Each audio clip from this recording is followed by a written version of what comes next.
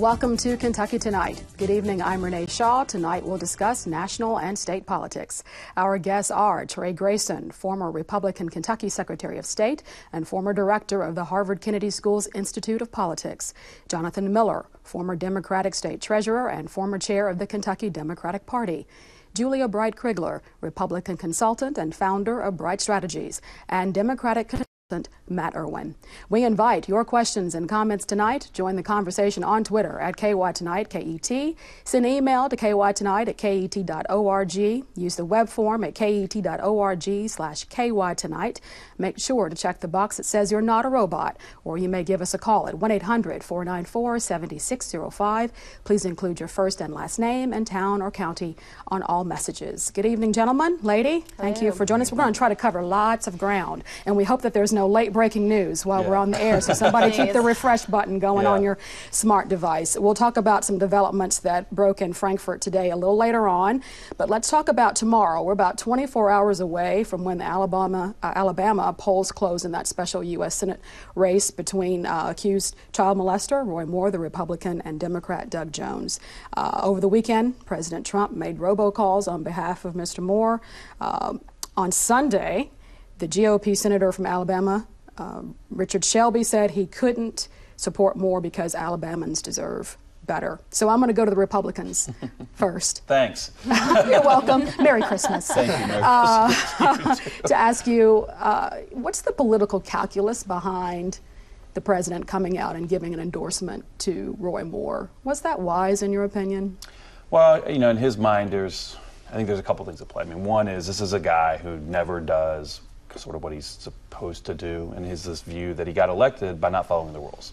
And the rules, the traditional rules of politics would say you distance yourself from this guy, you cut him off, uh, just like Senator Shelby did. Mm-hmm.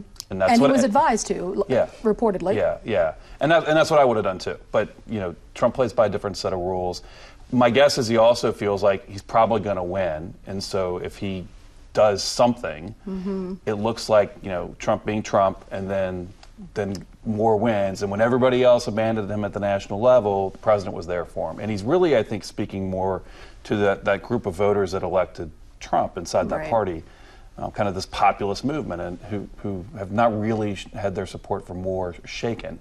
Um, and so that's the gamble. Now, if Moore loses, Trump's going to look really bad, worse than if he just uh, stayed on the sideline. Is it worth it, Ms. Crigler, for President Trump to wage such a bet and to put in so much possible political capital in well, this situation given the circumstances? I think conventional wisdom would say if you're a Republican and you're running for office in Alabama, you're going to win. Um, I think that conventional wisdom holds true tomorrow. Um, unfortunately, I think the choice that voters are faced with in Alabama is do they choose in this situation to elect someone who Mitch McConnell has made very clear will not be able to be effective in the United States Senate and has um, has also furthermore said he he intends to immediately start a Senate ethics investigation. Mm-hmm. Now, a Supreme Court ruling in 1969, Powell versus McCormack, states that they pretty much have to seat him once he's sworn in and takes the oath of office. So he has to be seated. Um, but what happens after that can really follow the path of a Senate uh, ethics investigation, which can lead to censure. Right. Do you think censure would be the likely outcome? Would Senator Leader McConnell go that far? I think they would follow the investigation mm-hmm. where, where it takes them. And if, if ultimately it's determined that these allegations are correct, I have full faith that Senator McConnell would follow through on those recommendations. You know, Mr. Miller, I think it was Chuck Todd who said during the Sunday talk shows that if Roy Moore is elected, he'd be the most famous U.S. Senator, sitting U.S. Senator. Now, what do Democrats do about that. And they've got their own issues. Uh, just talk about what this does for the institution and how Democrats can, if they can, uh, come out the victor in this situation. Well, you know, I, it, in one sense, it's really depressing. I mean, the, the past few months have been just uh, uh, uh the reality of, of what goes on in Washington and Frankfort and across the country and uh, to uh, to women, uh, now to young girls, is is uh, is truly frightening and, and horrifying. Um, Uh, I, I, do think, though, there is a lot of good that can come out of this. Uh, all of this education is, uh, I think, going to pave the way once we get through this really ugly period. I think pave the way for for men treating women uh, the way they deserve to be treated and they ought to be treated. And, and I think that this is helping set that path uh, where kids growing up these days will, will know that. I think Democrats might, in the back of their mind, some might think we see an advantage here, just like every um, every Democrat who ran for office here in Kentucky, his last name was Obama. Um, I think uh, every Republican who runs in the next cycle's last name will be Roy Moore and, and will be tied to that. Uh, obviously, Democrats don't have completely clean hands yeah, in this. Because um, you've got your Conyers and your Franken. and. Right. But, I, but I do think that uh, you know, there has been an effort, particularly without Franken, um, to uh, um, to say, okay, we're going to draw this, this line in the sand, even though Franken's behavior was not as, as horrible as Roy Moore's. It was bad, and we're going to draw this line in the sand, and Democrats are going to uh, take a stand on these sorts of issues and cut, uh, cut loose uh, people who have uh, such a, a, horrible background. Matt Erwin, do you think that's effective and that that'll work? that you cut loose those who are perpetrators and you move forward? Well, I when it comes to Senator Franken, or now Al Franken, I, am proud to see that he was sort of frog marched out. I mean, I was a fan, read his books, liked mm-hmm. him, uh, liked his policies, but when it came to light what he did, I think that his fellow members of the Democratic caucus did the exact right thing, which is showed him the door. And I think that hopefully there's some kind of precedent set. Uh, and when it comes to, to Congressman Conyers, I mean, longest serving member of the House, and it took not too long to get him out the door, and I was happy to see that.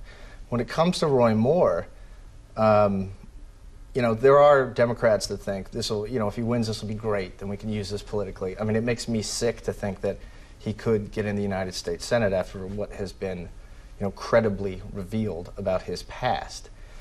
That said, even if he doesn't, I think that you really can't unring the Roy Moore bell. Um, you got the president that stood by him lockstep. I mean, kind of doubled down on his support of him. Said he didn't believe these women.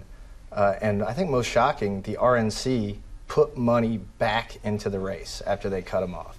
So they decided that after everything that had come out, they took their money away and then they saw a chance to win, put that money back. Money from the RNC might, in fact, become radioactive to some candidates because now you can make a credible argument that you're, you're taking. Establishment. Yeah, sure. You're, ta- you're, you're taking money from the folks mm-hmm. that financed Roy Moore's campaign. That, that's going to be a, a, big issue to people that had nothing to do with Roy Moore, but you know, RNC money is now a little toxic. Yeah.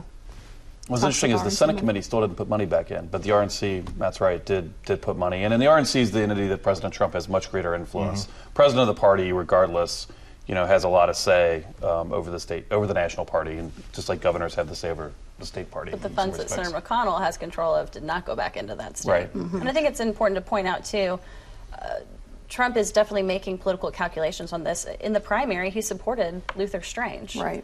Um, so that I mean, it's clearly not a particularly principled stance there to support Roy Moore. It's kind of where the where the wind set is back given that President Trump had allegations of sexual misconduct leveled against him as well, if all of this had come out this time last year, would there have been a President Trump, you think? Well, I mean, a lot of the Trump stuff did come out last. I mean, I mean but uh, with all these other allegations, if all of if all oh. of the, the, media and uh, from Bill O'Reilly to Matt Lauer oh, to Mark okay, Halperin, yeah. if all of that yes, happened a, in the same year, this is a very. I mean, I think a good example is what's going on in Frankfort. If that had happened a year ago versus mm-hmm. today. For example, I don't, you know, I, am not sure people would react the same way. So yeah, I think for the better, the country has decided we're not going to tolerate this stuff.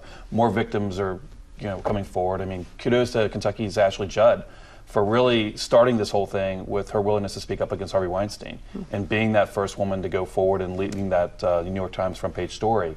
Um, she deserves, deserves a lot of credit. Won an award over the weekend for it. And on the f- cover of Time magazine yeah. the Person of the Year, the, the Silence Breakers. I'm, yeah. I'm, the one supposed to be praising Ashley, so only in this context hey, and in basketball context. But, but, but, Renee, I, I, don't think the uh, I don't think the the what we would have seen with Harvey Weinstein would have happened had we not had uh, Donald Trump the year yeah. before. I think mm-hmm. what happened with Donald Trump the year before and, and him getting away with it um, has raised the temperature uh, made so many people angry. My, my, uh, my wife and daughters, uh, who really are not that political, probably because I was political when they were growing up, um, got were, were just heartbroken after the, the election, not because a, a, a Democrat lost or a Republican won, but because uh, they are very passionate about domestic violence and about e- equality for women, and were just completely destroyed by that uh, by, by Trump getting away with that. And I think that helped educate uh, what happened with Harvey Weinstein and then what's happening today. Mm-hmm.